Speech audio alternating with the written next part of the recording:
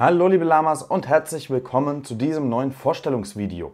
Wir schauen uns heute an Echos, der erste Kontinent, ein Spiel von AEG. Jetzt zur Spiel auch schon auf Deutsch bei AEG selbst. Das ist das erste Spiel, das AEG eben selbst auf Deutsch rausbringt. Und ich wollte euch in diesem Video einfach mal zeigen, was machen wir in Ecos, was passiert da. Es ist so ein bisschen quasi eine kleine Regelerklärung mit dabei, aber nicht vorrangig. In Ecos, der erste Kontinent, geht es erstmal darum, dass wir Siegpunkte machen. Und zwar entweder 60 oder 80. Und das läutet dann das Spielende ein. Wir spielen es mittlerweile meistens mit 60 Siegpunkten. Wir bauen einen Kontinent auf. Dieser Kontinent besteht aus drei unterschiedlichen Landschaftstypen, nämlich ähm, Wüste oder Sand, Grasland und Wasser. Wasser gibt es noch in unterschiedlichen Farben, das ist aber egal, das ist beides Wasser. So, dann gibt es für diese Landschaftstypen, können wir noch erschaffen Berge und Wälder. Und wo ein Berg ist, kann dann tatsächlich auch ein Wald sitzen, denn es ist quasi so ein bisschen ein afrikanischer Kontinent. Das Ganze tun wir, indem wir Karten ausführen. Wir haben hier also Karten ausliegen. Jeder hat von Anfang an drei ausliegen. Er hat weitere drei, sechs, neun auf der Hand. Es hat also jeder ein Deck aus zwölf Karten, wovon es ganz verschiedene gibt. Wir haben hier unterschiedliche Sets zu erkennen, unten an dem Symbol links oder rechts. Das heißt, man kann die Sets auch ganz verschieden zusammenstellen. Die haben dann auch ganz unterschiedliche Schwerpunkte jeweils. Da ist also Varianz drin. Und mit diesen Karten führen wir eben Effekte aus, um damit das Spielfeld zu manipulieren.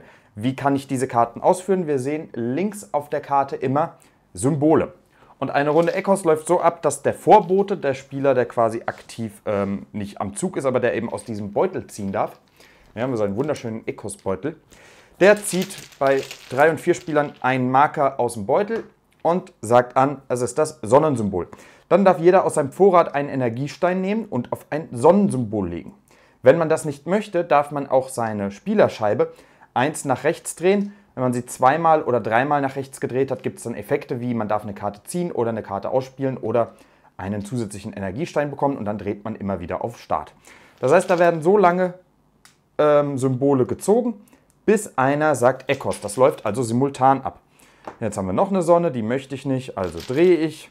Wir haben die Fischeier, ja, die kann ich schon mal hier vorbereiten und draufsetzen. Dann haben wir die Steine, möchte ich nicht, also drehe ich.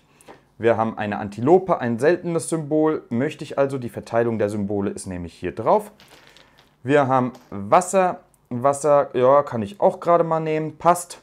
Tun wir mal das hier von dem Plan wieder weg. Dann haben wir Fischeier, wie ich sie immer nenne. Äh, nö, möchte ich nicht. Drehe ich. Möchte ich einen zusätzlichen Energiestein, drehe damit wieder auf Start. Wir haben eine Sonne, möchte ich nicht, drehe ich also weiter. Wir haben noch eine Sonne, möchte ich nicht, drehe ich weiter. Wir haben einen Stein, möchte ich nicht, drehe ich weiter. Möchte ich noch einen Energiestein, drehe wieder auf Start.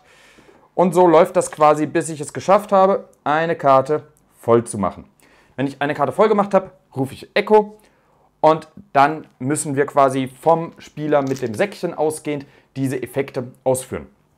Wenn man dran ist, kann man dann entscheiden, möchte ich den Effekt überhaupt noch ausführen oder nehme ich den letzten Stein, den ich gesetzt habe, zurück und drehe stattdessen die Scheibe, weil es kann sich natürlich auf dem Spielfeld einiges geändert haben.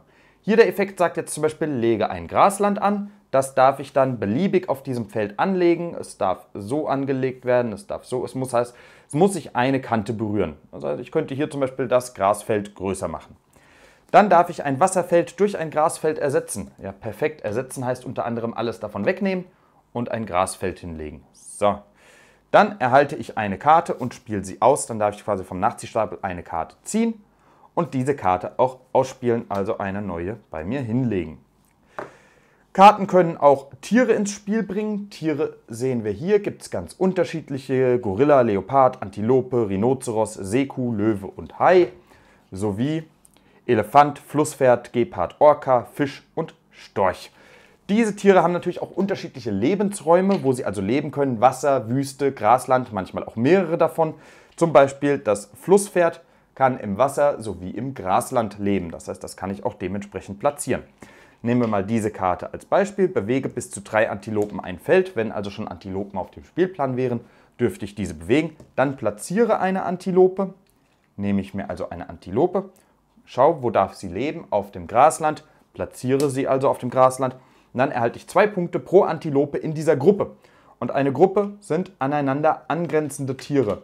Ja, deswegen darf ich die vorher bewegen, um quasi dafür zu sorgen, dass die aneinander angrenzend sind. Und das hier wäre dann jetzt zum Beispiel, würde ich sechs Punkte bekommen, weil diese Gruppe Antilopen aus drei Tieren besteht. Dann darf ich eine Karte spielen und dann darf ich einen Joker darauf setzen. Das bedeutet Joker darauf setzen, ein beliebiges Symbol abdecken. Natürlich nur, wenn ich auch noch einen Würfel habe. Ansonsten dürfte ich wieder die Scheibe drehen.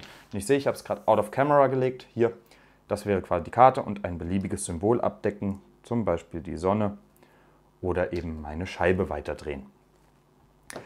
So läuft das ganze Spiel darüber, dass ich quasi Karten ausspiele, Effekte auslöse. Die zwölf Karten in meinem Set sind quasi schon so aufeinander abgestimmt, dass es explizit in der Anleitung steht. Man braucht nicht unbedingt neue Karten ziehen. Wenn man die richtig nutzt, kann man damit gewinnen. Denn was ich jetzt gerade noch nicht erklärt habe, ist, wenn ich eine Karte nutze, muss ich dann die Energiesteine davon abräumen. Das heißt, die kriege ich zurück in den Vorrat und muss die Karte um 90 Grad nach rechts drehen. Ist dann hier oben kein Blatt mehr zu sehen, also an der Seite, die dann oben ist, dann muss die Karte abgeworfen werden. Das heißt, diese Karte hat ein Blatt, die darf ich einmal benutzen. Drehe ich diese Karte, weil ich sie aktiviert habe, dann sehe ich, von vier Blättern geht es auf drei Blätter, die darf ich also noch dreimal benutzen, noch zweimal, noch einmal und jetzt ist sie dann wieder auf vier, dementsprechend muss sie raus, weil das geht nicht, dass sie sich quasi selbst zurückdreht. Und so werden sehr mächtige Karten auch immer wieder aussortiert sodass äh, man keine Power-Kombination hat, die dann unendlich lange läuft. Aber natürlich kann man versuchen, das Optimum an Punkten aus dieser Kombination rauszuholen. Noch ein kleiner Hinweis, ich habe auf boardgamejunkies.de eine Regelzusammenfassung. Das ist einfach nur eine DIN A4-Seite. Mehr ist es nicht, mehr brauchen wir nicht, um Ecos zu spielen. Es ist also im Grunde ein sehr einfaches Spiel. Die Strategie und Taktik kommt dann aus den Karten, wie man sie nutzt und aus der Interaktion mit den Mitspielern.